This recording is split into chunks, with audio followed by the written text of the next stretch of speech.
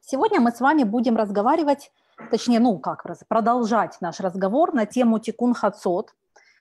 Э, у нас с, нами, с вами сегодня второй, э, второе уже будет занятие. Сегодня мы с вами будем разговаривать... Минутку. Точнее, ну как, продолжать наш разговор на тему Тикун Хацот. Одну секунду. Э, Я не хочу себя второй, слышать. Второе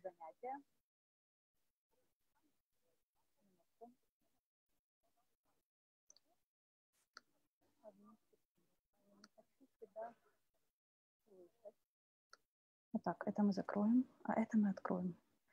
Вуаля. Эм, так. Сегодняшний, значит, вы знаете, да, что мы с вами провели уже один урок на тему тикун хацот. Почему мы это делаем сейчас? Потому что у нас, мы находимся в периоде, который называется три недели э, до 9 ава. Это очень особенное время, и мы э, в это особенное время учимся, учимся нырять на, на определенную глубину. Это то, что от нас хотят, то, что от нас требуется. И, соответственно, наша задача научиться. Вот мы с вами и учимся. Упражнение тикун хацот, исправление после полуночи, не самое популярное в мире, дорогие друзья. Поэтому, и оно, скажем так, эм, я говорила на предыдущем уроке, может быть не совсем для начинающих. Поэтому если вам еще страшно изучать какие-то э, такие темы, как, например, вот вы знаете, что есть три основные молитвы, да, шахарит, минха, аравит э, у евреев. Э, многие считают, что этих основных молитв четыре, что есть еще молитва пос, э, полуночная, которая она исправляет э, не только мир, в котором мы находимся, но она и исправляет нас самих. Почему это так? Вы знаете, что тикун, слово, да, обозначает исправление, а хацот – хэти. Что такое хэти на иврите? Кто знает? Хэти – это половина. Половина чего? Многие могут подумать, что речь идет о половине ночи, да? После полуночи, половина ночи то, как э, я вам буду сегодня рассказывать очень много из того, чему нас учит Рав Ревсон, Йона Ария Ревсон или Ревсон Джуниор. И э, вот то, как он объяснял, э, опираясь на, я вам позже скажу, на какие источники, чтобы вам не было сразу страшно. Он объясняет так, хэц и половина. Это потому что каждый человек состоит наполовину как ангел наполовину, да, у него есть животное начало. Мы знаем, что люди, они этим и уникальны. У нас э, вот это вот э, средняя, у нас есть средняя линия, где, там, где находится наша свобода выбора, в какую сторону мы можем себя взять. Мы это выбираем самостоятельно. У нас есть, э, в принципе, равнозначная, равнозначный потенциал склонить себя больше в сторону э, анджелик, такие более высокой духовности, да, как ангелы, либо склонить себя в такой эм, более к физическому уровню. И в этом находится наша половина. То есть тикун хацот – исправление половины. Это то место, в котором каждый человек принимает самостоятельное решение, в какую сторону он эм, преломляется, какую сторону он преломлялся раньше, а точнее в моменте кунхацут он принимает решение, где этот перелом наступает в нем сейчас. Поэтому, например, это очень большой вопрос всегда, да, э, каббалистический большой вопрос, про что на самом деле тикун хацот.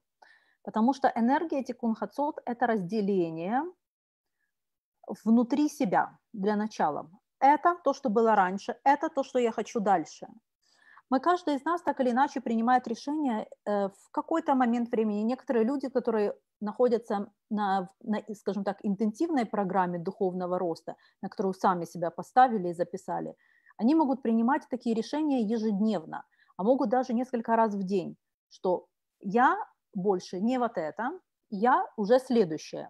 И следовать вот этому следующему паттерну.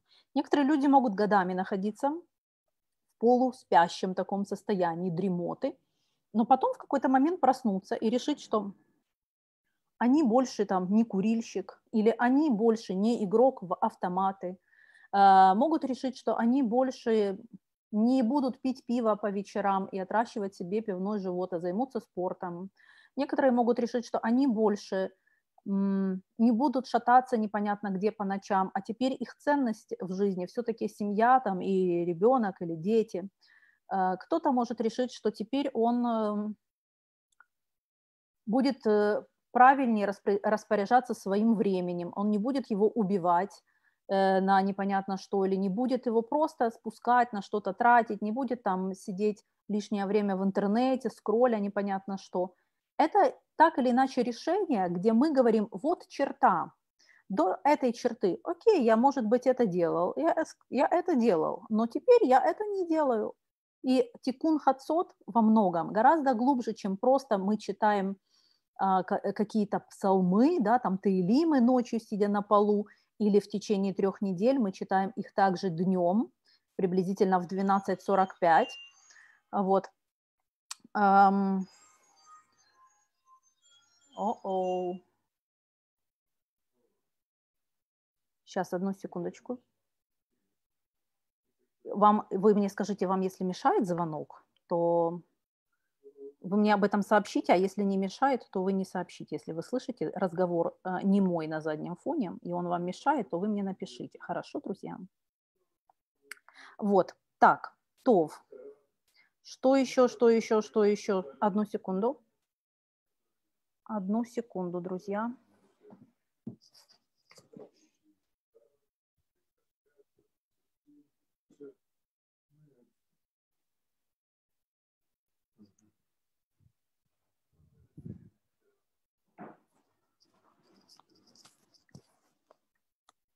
Так, я вернулась. Вы меня видите снова, друзья? Я очень рада.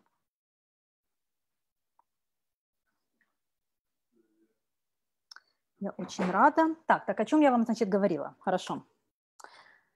О том, что, очень, о том, что э, вот это вот время тикун хацот, значит, что, что в течение трех недель это также мы делаем в, э, не только вечером, не только ночью, но и днем. Днем в какое время? В 12.45 в 12.45 дня. Э, мы что делаем? Мы садимся на пол, э, открываем в интернете, находим те, текст Тикун Хацот, либо я прикреплю ссылочку вам в комментарии к этому видео, вот, и читаем, э, и читаем то, что там написано. Мы сегодня тоже поговорим, как, как и что мы читаем. А теперь, друзья, мне хочется с вами поделиться ответами на те вопросы, которые возникли после а, первого урока по Тикун Хацот. Ладно? Потому что их было много, и мне кажется, что они, в принципе, важные. Значит, мы сказали, что, что в Тикун Хацот важно проснуться посередине ночи, то есть прервать э, факт сна. Вот вы уснули, э, легли спать, потом в определенный момент вы должны как бы пробудиться, проснуться и читать вот, это вот, э, вот эти вот псалмы и там еще пару, пару предложений. Э, вопрос был от тех, кто слушал предыдущий урок, нужно ли говорить Модеани, нужно ли говорить Берката Шахар, то есть нужно ли говорить те брахот, которые мы говорим по утрам, э, когда мы просыпаемся утром. Ответ – да, нужно. Мы говорим. Э, второй вопрос был, делаем ли мы нетилат ядаем, омовение рук, прежде чем начинать говорить тихкун хацот. Ответ – да, делаем, делаем с брахой, с благословением. А потом, если вы после тикун хацот ложитесь спать и просыпаетесь уже соответственно, утром, то вы делаете снова на телат ядаем, только уже без брахи. Такая вот Аллаха, такой закон. Дальше. Ага. Э, был вопрос, нужно ли э, обязательно сидеть, когда вы читаете тикун хацот, или можно постоять, или можно что-нибудь еще предпринять. Э, ответ лучше сидя. Почему? Потому что это ближе к сфере Малхут. И Малхут – это лейтмотив, то есть мы говорим о том, что мудрецы пишут о том, что Всевышний в период трех недель, он спускается с очень своего высокого-высокого положения до сферы Малхут, в самый низ. Для чего? Для того, чтобы а, когда произойдет ну, освобождение финальное, когда произойдет финальное искупление, то есть когда мир начнет существовать не как сейчас, эм, когда у всех есть сомнения, а что, если Бога нет вообще, а что, если, откуда мы знаем, что Он есть, почему мы вообще все это изучаем, почему мы это все делаем.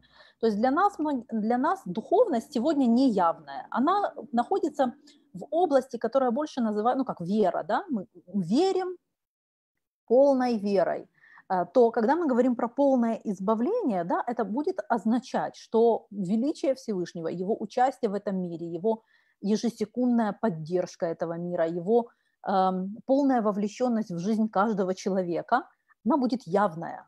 Не будет вариантов, не будет сомнений. Ты будешь четко видеть, что у него с тобой есть отношения. Ты часть большой системы. Внутри тебя свет самого Всевышнего. Ты очень сильно божественное творение, которое очень сильно влияет на всю систему мирозданий. И от твоих выборов в жизни, от твоих действий зависит многое. Не абстрактно уже, а вполне конкретно видимо. Ты будешь видеть эм, не только евреи, все народы э, написано о том, что они увидят Царство Всевышнего. И мы, конечно, хотим этот момент приблизить. И что еще приятное, да, что Царство Всевышнего, то есть когда реальное будет раскрытие этого света в большом количестве, э, перестанут существовать вещи, которые, к которым мы привыкли, но которые связаны с большим страданием, такие как болезни, такие как войны. Эм, этого просто не будет, потому что когда раскрывается большой свет Всевышнего, то вот для этих негативных вещей их, им нет места. То, значит, и поскольку Всевышний спускается в самые низкие места для того, чтобы и оттуда их поднять, да, и, и туда принести свет и их возвысить, мы садимся тоже как можно ниже, то есть на пол, э, для того, чтобы оказаться там же, где Всевышний, не выше, чем Он, не, там же, где и Он. Мы всегда хотим себя брать в жизни э, ближе к Нему. Наш, у нас такое упражнение – брать себя ближе к Нему через более достойные поступки, через более позитивный взгляд на самих себя, на окружающих людей, через исполнение мицвод, через изучение Торы. Ну, вы это все уже, наверное, знаете. Дальше. Нужно ли читать Тикун Хацот на шаббат? У вас, кстати, друзья, если параллельно будут появляться еще вопросы, вы их можете мне написать. Я, если буду знать ответ, я отвечу. Так вот, нужно ли читать Тикун Хацот на шаббат? Ответ нет, не нужен. Все, шаббат это уже парадайз, мы ничего не исправляем, мы себя не исправляем, мы этот мир не исправляем. В шаббат все уже как есть, мы должны э, приходить в шаббат с ощущением, что уже все доделано. Вот, э, когда он заканчивается, начинать заново. Хорошо? Теперь дальше. Про натилат я вам сказала. Вот, а на предыдущем уроке, то есть в Тикун Хацот, часть первая, я вам говорила версию, в которой обязательным было прервать прервать сон. Мой Раф сказал, что это, с одной стороны, очень важно, однако э, это мало. То есть, если, допустим, вы по какой-то причине не спали, и вот уже 12, час, 2, 3, пожалуйста, не освобождайте себя от чтения тикун хацот. То есть, если вы не прерывали сон, если вы и не ложились, все равно 12 ночи, час, 2, 3, даже если вы бодрствовали и бодрствуете, пожалуйста, возьмите какое-то время, возьмите 10 минут для того, чтобы сделать тикун хацот, сядьте на пол, особенно в период трех недель. Это очень-очень важно. Что еще? Что еще?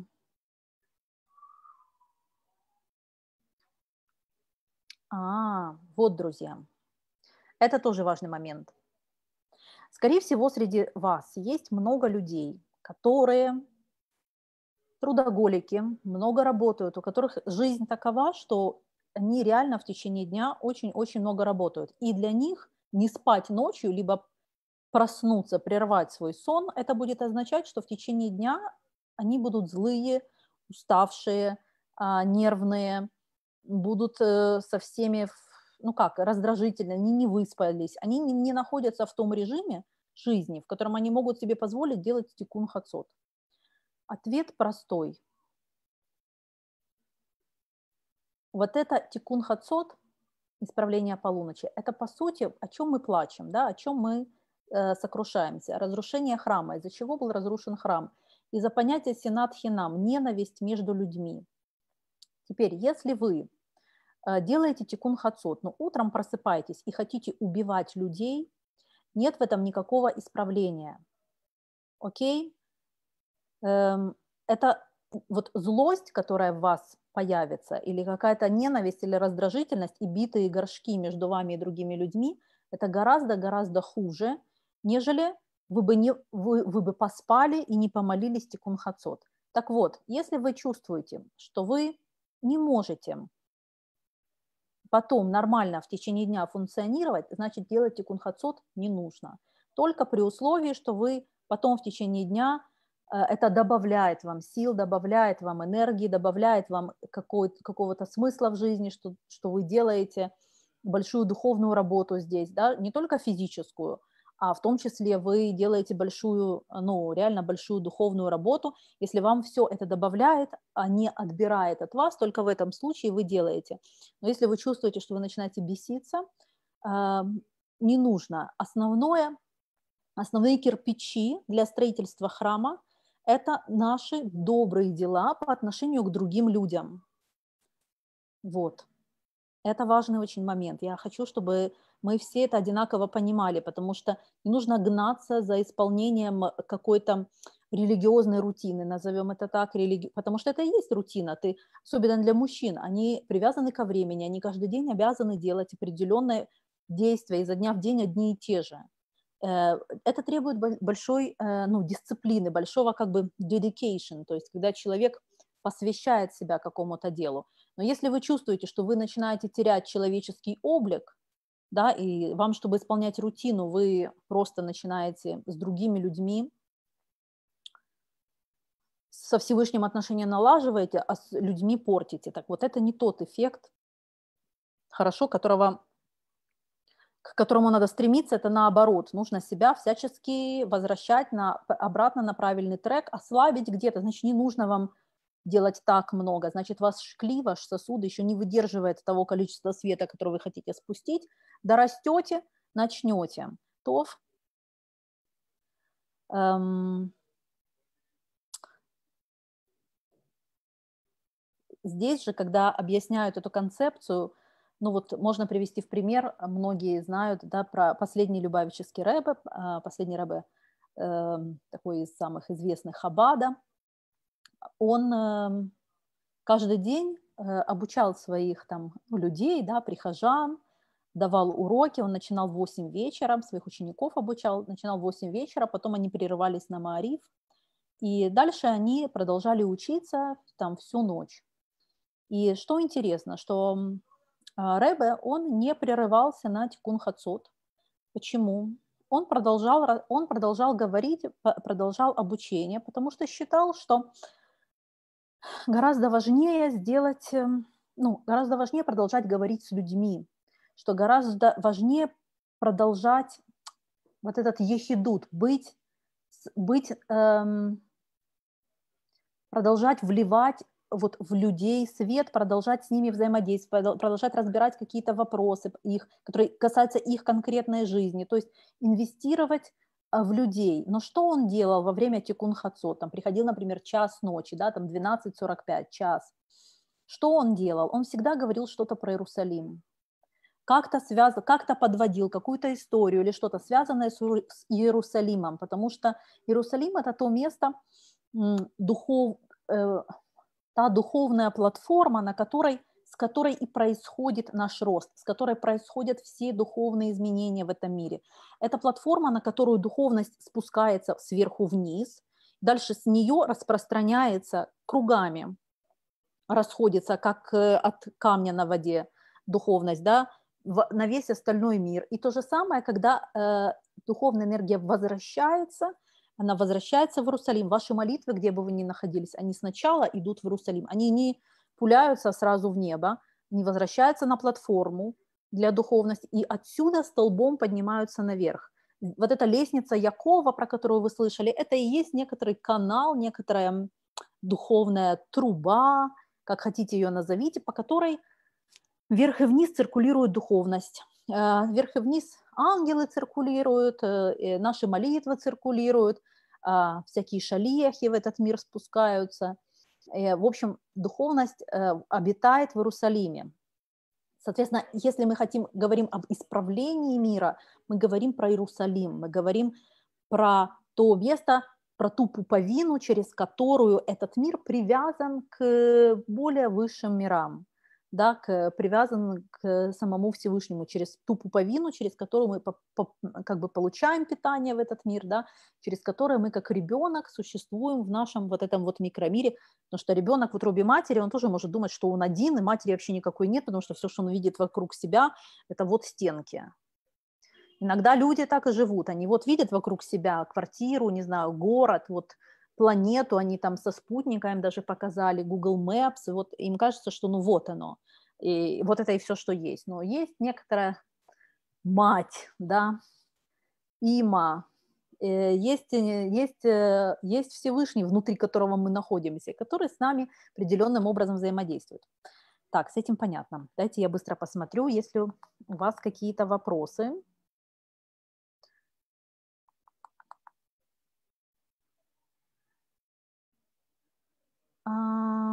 Так, так, так, так, так.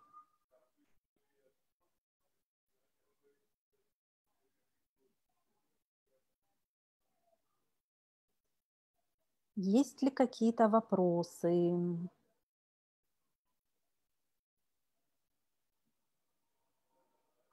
Так, Адина, пожалуйста, в чем ваш вопрос? Можно ли читать по конспекту, если не знаешь как? Читать по конспекту, что можно ли говорить тикун хатцот, читая как бы по конспекту, в этом вопрос. Если в этом, то, ну, конечно, никто не знает, ну, как бы, может, кто каждый день. Смотрите, я знаю людей в Иерусалиме, которые, естественно, читают каждый день тикун хатцот. И э, это, не, это люди очень высокого уровня. Нет требования к каждому человеку это делать. Но в эти три недели, которые происходят сейчас, будет очень хорошо, если вы хотя бы один раз, а еще лучше два. Ну, как у вас получится? Ну, если получится три, сделайте эту практику, попробуйте это, потому что это очень-очень сильно. В чем еще вопрос? Так, а, у меня в Сидуре написано, что женщины не читают Тикун Хацот. Это рекомендация или действительно не надо читать? Ответ на этот вопрос я объясняла в предыдущем уроке. Я вам объясню так, как нам объясняет наш, э, наш Рав, который преподавал эту тему Тикун Хацот – вот для, в, женс, ну, в, в женской ешиве, в женской семинарии, соответственно, для девочек, они еще младше, чем я, и это не то, что там для, он для дядь бородатых преподавал, нет, нет, нет, это то, что я вам рассказываю, рассказывается в, в, в, в, Махоне для балчув, то есть для тех, кто недавно начал соблюдать. Значит, когда он объясняет, он говорит, что у кажд, каждый человек эм, который живет в этом мире. Он состоит из двух энергий, точно так же, как Всевышний состоит из двух энергий. Мужского проявления, женского проявления, да, щена, четырехбуквенное имя Всевышнего, точно так же каждый человек. Э, наполовину мужчин, на какую-то часть мужчина, на какую-то часть женщина. Каждая женщина чуть больше женщина, чем мужчина, каждый мужчина чуть больше мужчина, чем женщина, понятно? Но обе энергии присутствуют в каждом, это как срез по диагонали. И э, почему как бы типа не рекомендуется это считать женщинам? Потому что сама идея тикун хацут – это страдание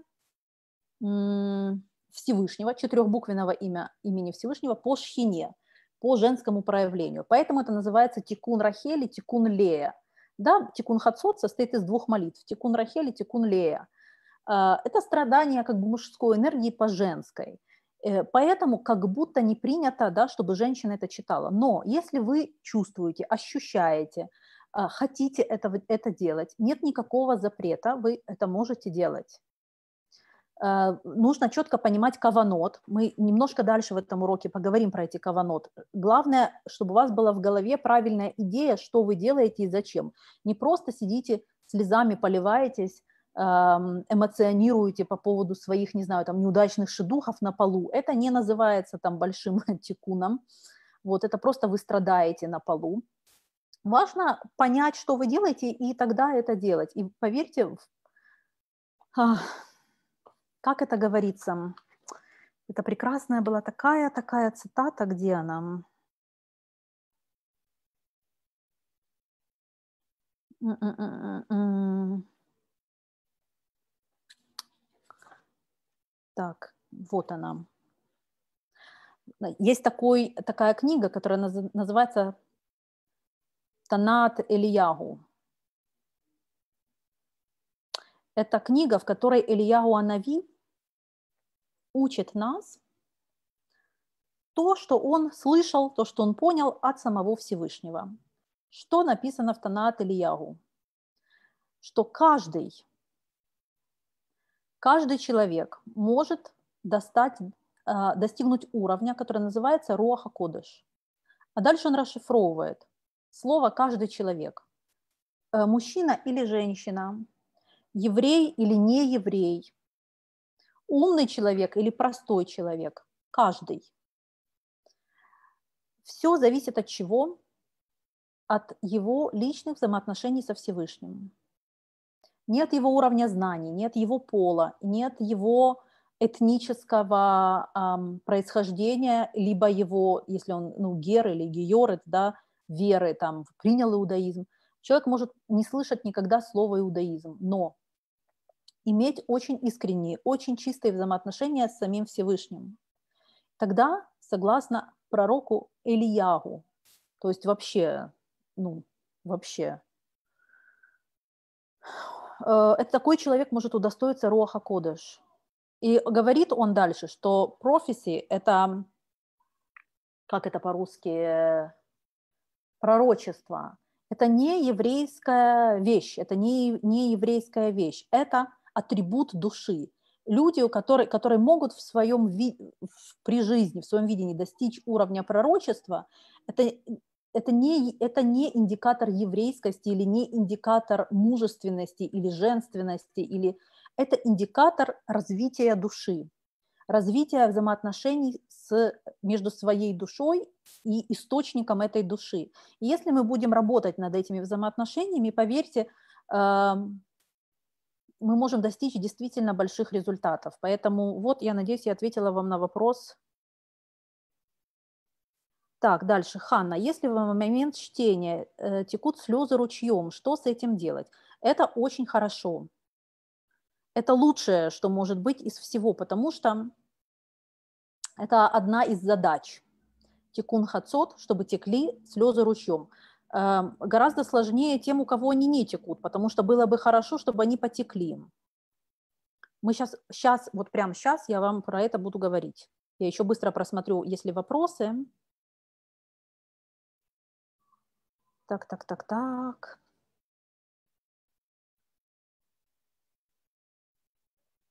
Я не еврейка, вот вопрос, но молилась сегодня и очень хорошо. Можно мне так делать, скажите, пожалуйста. Конечно, можно молитесь на здоровье. Э, друзья, есть идея такая, знаете, летает в воздухе, о том, что как будто бы вот э, есть евреи, есть Всевышний, как будто бы евреи Бога приватизировали себе, и, и все, и ни у кого больше нет к нему доступа. главное, что есть только вот у евреев, либо через евреев. Вы должны знать, что это не, ну, это, это не так.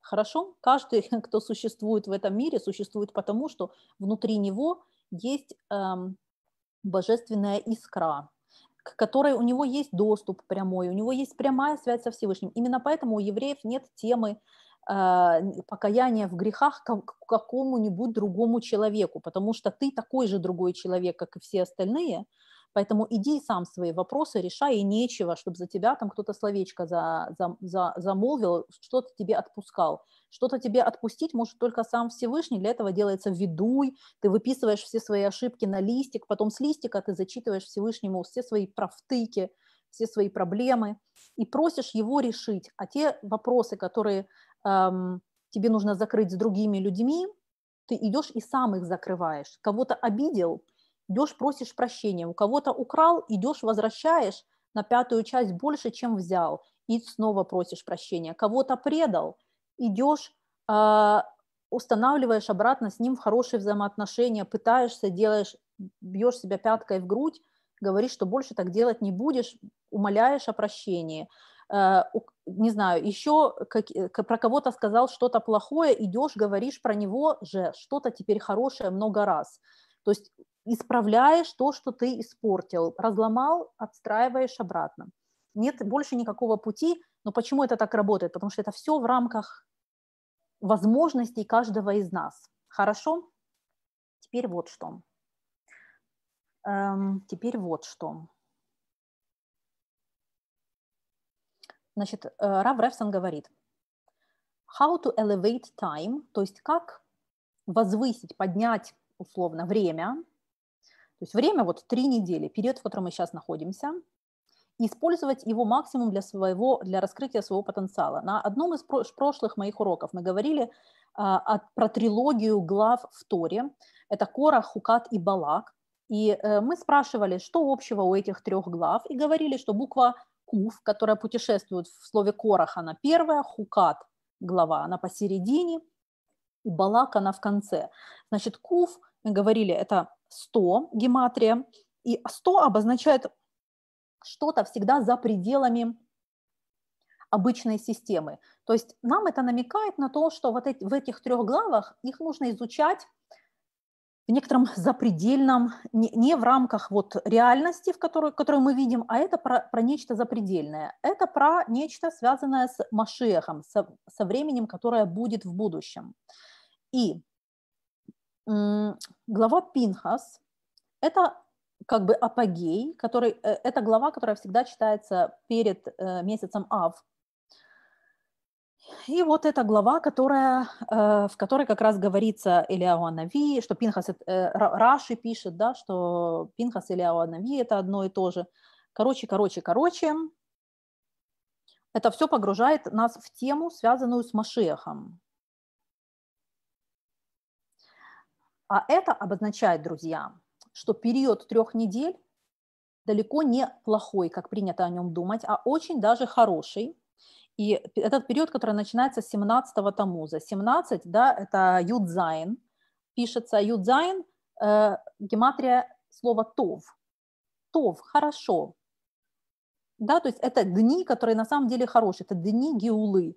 И если вы посчитаете количество э, праздников в еврейском календаре, э, которые перечислены в Торе, включая Рошходыш, есть, э, и включая шаббат, то есть шаббат один день, э, там Рошходыш один день, Сукот, Песах, Шавот, Рошашана, вы все это просуммируете, у вас получится 21 день очень высокой энергии, но есть еще 21 день, который когда происходит? Это три недели между 17 Тамуза и 9 Ава. Это энергия супер высокая, Дальше, что мы знаем про 21? 21 – это гематрия одного из имени Всевышнего, которое пишется как Алиф, Вегей, Веюд, Вегей. Алиф – это 1, Гей – 5, Юд – 10 и Гей снова 5. А, Итого получается 21. Что обозначает это имя Всевышнего? Чтобы я вам его не произносила вслух. Оно обозначает «я буду там», «я буду». Да? Я буду там.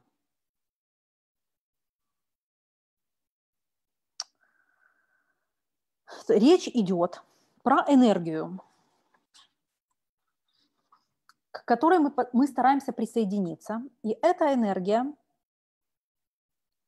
не энергия прошлого. Мы не стараемся присоединиться к энергии разрушенного храма, к энергии всех тех событий, которые были раньше, из-за которых мы их уже изучали, да, там с вами идола внесли там а, в храм, разбиты были скрижали из-за греха золотого тельца. Мы не пытаемся соединиться с вот той энергией, мы пытаемся соединиться с энергией 21, с энергией будущего, с энергией, которой еще не было, которая только будет в будущем. И поэтому эта энергия очень высокая, это энергия другого порядка. Многими людьми она принимается как тяжелая, потому что ее много. Но на самом деле это а, она очень-очень сильная, очень светлая. Это энергия будущего, энергия эпохи Машеха. Мы всегда ее переживаем и испытываем вот на протяжении до 9 ава, причем эта энергия, говорится, что она идет по нарастающей. Хорошо? что эта энергия увеличивается от 17 Тамуза, каждый день она увеличивается, каждый день ее все раскрывается больше, больше и больше. Поэтому вы можете это чувствовать как некоторую турбулентность. На самом деле это всего лишь Всевышний спускается к нам пониже, пониже, пониже до уровня Малхут. И э, мы это начинаем ощущать. И, кстати, когда мы читаем Тикун Хацот, мы, э, мы знаем и понимаем о том, что мы сидим, допустим, и плачем, а Всевышний сидит и плачет напротив нас. Мы сидим и плачем вдвоем, как, э, как мы, как ребенок, который, эм, у которого который страдает, у него что-то болит, и Всевышний как отец, который страдает, потому что страдает его ребенок. И вот это вот наше общее коммунальное страдание – оно развивает особый уровень близости. И этот уровень близости – это то, чего Всевышний реально хочет от нас в эти три недели. Потому что задают мудрецы вопрос, реально, вот реальнейший вопрос, что хочет Всевышний на протяжении трех недель? Как бы вы ответили на этот вопрос? Что хочет Всевышний на протяжении этих трех недель? Что он от нас хочет? Ответ следующий. Что он хочет услышать от нас как сильно нам нужно, как сильно мы хотим вот этого финального избавления, как сильно мы хотим финального раскрытия, как сильно мы хотим уже, чтобы все было, как бы наступила вот эта эпоха искупления всего, как мы, как сильно на самом деле мы внутренне этого желаем. Говорится о том, что когда нам с вами, дорогие друзья, будет больше 120 лет уже, конечно. Да, и наши души окажутся ну, вот в том измерении, где наконец-то нам будут давать ответы на вопросы. Сейчас у нас в этом мире только вопросы, а ответы у нас в другом мире. Представляете, такая вот нескладуха получается. То второй вопрос, который нам зададут, будет э, такой, будет цепита ли Ишуа. То есть, другими словами, ждал ли ты освобождения? Нашей душе будет задан вопрос, ты реально ждал освобождения? Ты ждал Машеха? Какую часть вообще в твоей жизни играл Машех? Как ты, насколько ты волновался, условно, тем, как Всевышний раскрыт в этом мире? Насколько тебя волновало состояние шхины, то есть божественного присутствия? Э, насколько оно явно или неявно, есть или нет, насколько ты искренне переживал боль, страдания других людей, насколько ты видел эти страдания, насколько они тебя трогали, потому что так или иначе все это происходит, потому что не раскрыта божественная энергия в полной мере. Насколько тебя лично это касалось? Второй вопрос нам зададут именно этот. И было бы хорошо, чтобы у нас был на него ответ. Цепита лейшуа. Эм, как сильно ты ждал Иешуа, да, Иешуа, освобождения, как сильно ты этого ждал. В эти три недели Всевышний как бы спускается и смотрит, кого что в этом мире заботит. Э, где эти люди, где те, кого действительно волнует судьба этого мира, судьба э, человечества, кого волнует сам Всевышний, кого волнует то, что нет храма, кого волнует кто кто, несмотря на рутину, она ведь есть у всех. У кого-то дети, у кого-то работа, у кого-то родители больные, у кого-то э, шедухи не клеятся, не знаю, у кого-то еще какие-то проблемы. Так или иначе, у всех есть своя какая-то рутина, в которой мы находимся. А Всевышний в эти три недели, то бишь прямо сейчас и до 9 ава, он хочет увидеть и хочет услышать тех, кто кричит к нему, тех, кто, э, тех, кого волнует судьба эм, мира, в котором мы живем, тех, кого волнует, что этот мир не находится в идеальном своем состоянии, о том, что здесь очень много проблем действительно, очень много э, есть зла, которое, которое не то, что мы в розовых очках, мы его не видим, мы его видим, да, оно существует, но мы, мы хотим, чтобы его не было, мы хотим, чтобы, мы, мы, мы считаем, что может быть по-другому, потому что Всевышний сказал, что может быть по-другому, и теперь мы этого хотим, а не просто занимаемся своими делами, ну, там, по ходу Всевышний, когда сам надумает все поменять, поменяет, а я пока, короче говоря, туалетной бумаги и гречки закуплю, а мало ли там еще какой-то проблема разыграется. Теперь я хочу вас научить оставшиеся несколько минут э, каким-то каванот, то есть основным идеям и основной магии, друзья, урок по магии сейчас будет. Как учат наши мудрецы переворачивать негативную энергию в позитивную, потому что на протяжении этих трех недель это что-то очень-очень важное. Как происходит этот переворот? Если вы откроете Тикун Хацот, вы увидите, что мы читаем, например, Псалом, то есть Таилим номер 133, да, о том, что мы сидим на реках Вавилона и э, помним, думаем про Сион, Цион, да, про Сион. Почему важно, что мы сидим на реках Вавилона? Какая разница, где мы сидим? Важно же, что мы думаем про Сион, правильно? Зачем это уточнение? Очень красивое дал объяснение Рав Ревсон Джуниор. Он говорит, что реки Вавилона – это непростое упоминание. Где мы, где мы впервые вообще встречаемся с понятием, с пониманием про реки? Это когда мы читаем в Торе в главе Берешит о том, что было четыре реки, да, которые проистекали э, в Ганедане, из Ганедана, и две из них, друзья, это реки, которые огибают Вавилон. То есть, когда мы сидим на реках Вавилона и плачем, об изгнании, о трудной жизни, о том, что мы бездомные, э, многие не живут до сих пор в земле Израиля, а живут в Галуте, в изгнании. А, мы сидим на реках, которые берут свое начало в Ганедене. И это секрет превращения плохого в хорошее. Нахождение точки радости, точки, которая тов, точки, которая гематрия, которая 17.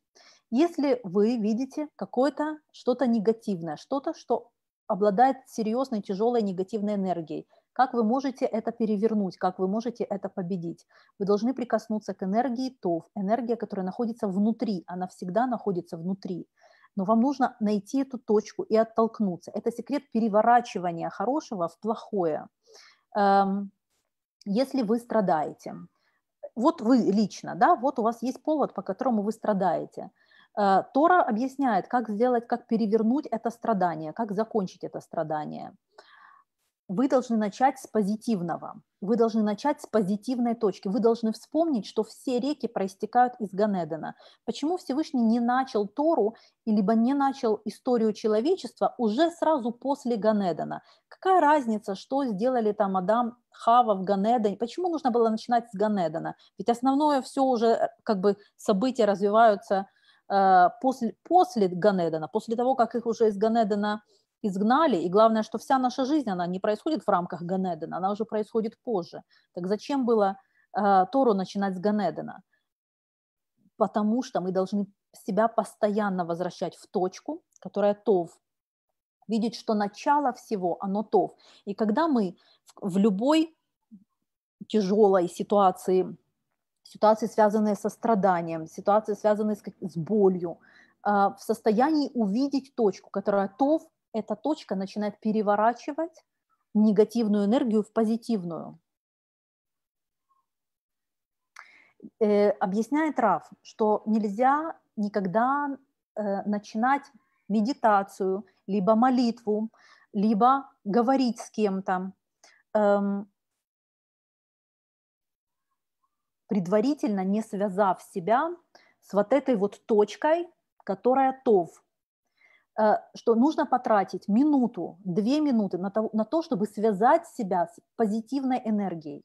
И только после этого начинать молиться, только после этого начинать какую-то медитацию, то есть прикоснуться, если вообще вам ничего не приходит на ум, вам всегда может прийти на ум, что ваше здоровье относительно в хорошем состоянии, вы видите, вы слышите, вы как-то функционируете, вы думаете, скорее всего, у вас есть семья, члены семьи, скорее всего, есть что-то хорошее. Вам нужно воскресить в себе эту точку, которая ТОВ. Вам нужно, потому что из этой точки вы перевернете все остальные страдания, как свои личные, так и мировые, на что-то позитивное. А, механизм такой –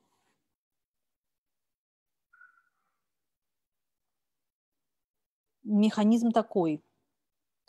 Первое, вы находите позитивную точку внутри себя, либо вы вспоминаете про какого-нибудь человека, кто сделал какой-то положительный переворот внутри себя.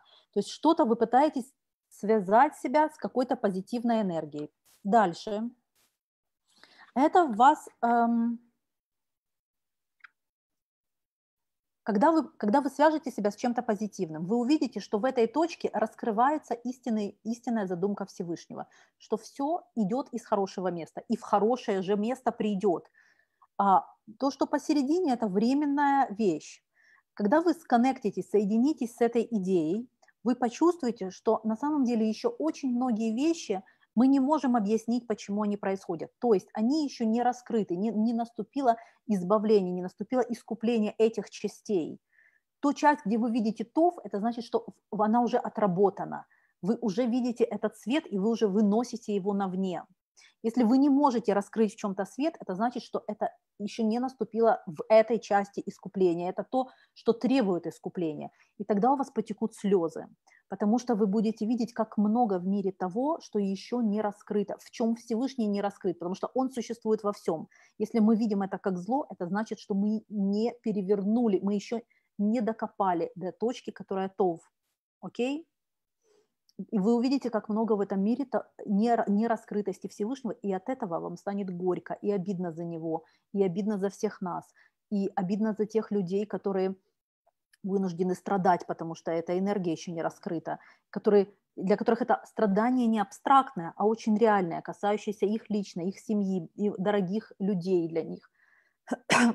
И от этого потекут слез, слезы.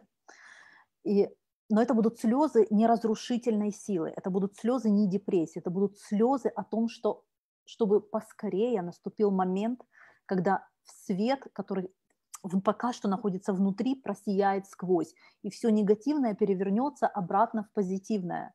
И это наступит полное, полное как бы избавление, искупление. Это, это слезы совершенно другого качества. Это не слезы, потому что мне себя жалко, или не слезы, потому что птичку жалко. Это слезы от несовершенства, которое я вижу вокруг себя, но это слезы надежды. Это слезы того, что в скором времени все должно поменяться, все должно стать на свои места, и я хочу, чтобы это поменялось, и я хочу прикладывать к этому усилия. Поэтому тикун хацот, я хочу делать для начала исправление самой себя, исправление своей середины, своей, своей половины, да, хэти, там, где я буду брать себя ближе к высшей духовной степени а, и дальше от эм, эм, от э, животного проявления, да, там, где я буду преломлять себя, понимая, что, я, что у меня всегда будет эта половина, но я буду выбирать, преломлять ее в правильном направлении. И буду делать тикун хацот, да, буду стараться, может, не каждый день, может, для женщин. Мужчины должны стараться это делать каждый день, потому что э, в этом и есть их духовная работа в этом мире. Не только строить дом, не только садить дерево, не только работать своими руками, э, не только любить жену там, и учиться своего рава есть вещи, где, а, которые находятся на уровне вашей личной связи со Всевышним, того, как ваша душа с ним взаимодействует, как ваша душа чувствует его. Потому что он нас чувствует. Он, как мы, как, как наша душа откликается, как, что он значит для, для нас, что он значит как бы на, где внутри нас вот эта вот точка, где мы очень тесно находимся в тесных, любящих с ним взаимоотношениях. Вот. И поэтому на этой мажорной ноте э, нужно тут еще только добавить, что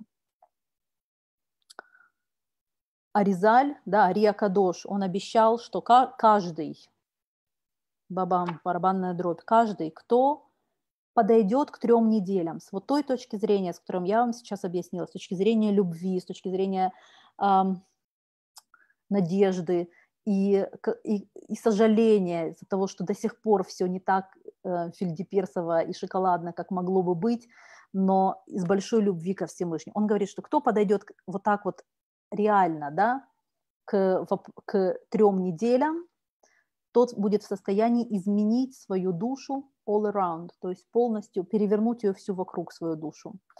Э, без раташем, чтобы мы удостоились эм, увидеть э, скорейший приход Машеха, раскрытие Всевышнего в этом мире, и чтобы у нас были духовные силы и здоровье на то, чтобы работать в этом мире, совершать здесь хорошие дела, э, строить храм. Вы уже поняли, он состоит, кирпичи для храма – это добрые дела по отношению к другим людям. Вот, и без раташем, чтобы мы в скором времени удостоились полной геулы. Всем хорошей недели, друзья. Спасибо большое, что учились вместе со мной. И до встречи завтра в 8 вечера. Всем пока.